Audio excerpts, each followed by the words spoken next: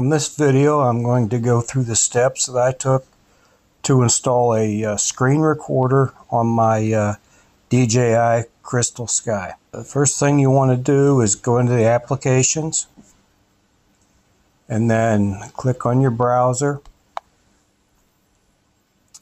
The website that I used was APK Pure and since I've already downloaded the, the app and gone to the website, you, you can see the uh, APK Pure is already here, so I'll just tap on that. What you want to do is go into the apkpure.com website. Once the page opens up, the app that I use is the uh, DU Recorder.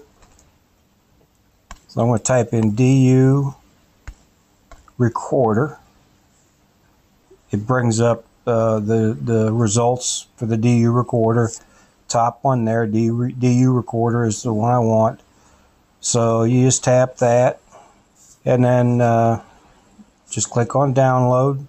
Once you click on download, it will download like any other file will. From here, you want to go back to your uh, main menu. Over on the left side, you'll see DU recorder, screen recorder, download complete.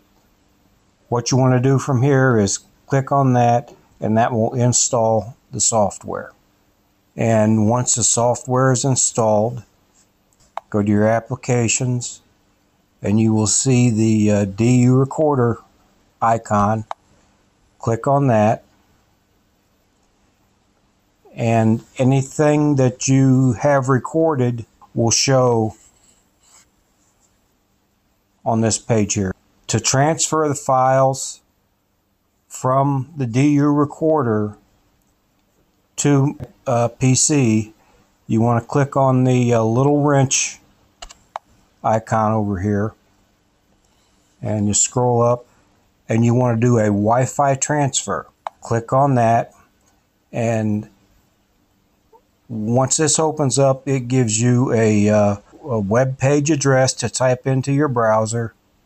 It'll also show your uh, your Wi-Fi name there but type that web address into your browser and that will bring up the uh, DU recorder page and that will show you every video that you have on your DU recorder on your Crystal Sky. From here, I'm going to go ahead and put in the uh, web address in my browser and we'll continue on from my laptop.